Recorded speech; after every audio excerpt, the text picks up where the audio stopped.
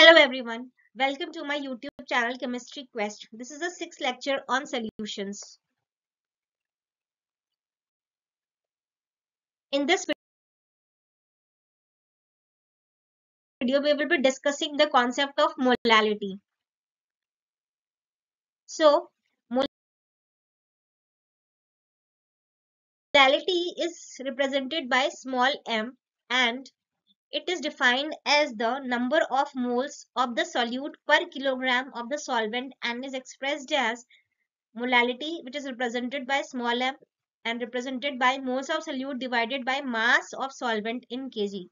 Let's see it through an example. So,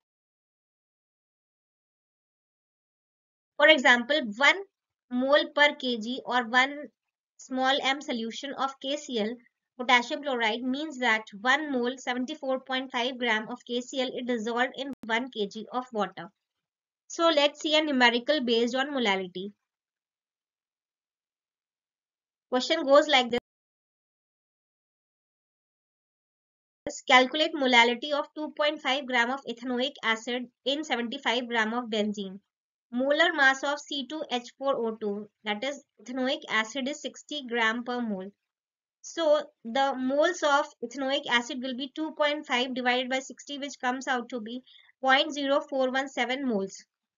Mass of benzene is in kgs is equal to 75 divided by 1000 because mass of benzene is given in grams so it has to be converted into kgs. So 75 into 10 raised to the power minus 3 kgs. Molality of C2H4O2 is equal to moles of C2H4O2 divided by mass of solvent in kg which is equal to 0.0417 mole into 1000 divided by 75 grams which comes out to be 0.556 mole per kg or simply we can write as 0.556 small m. Small m represents the molality and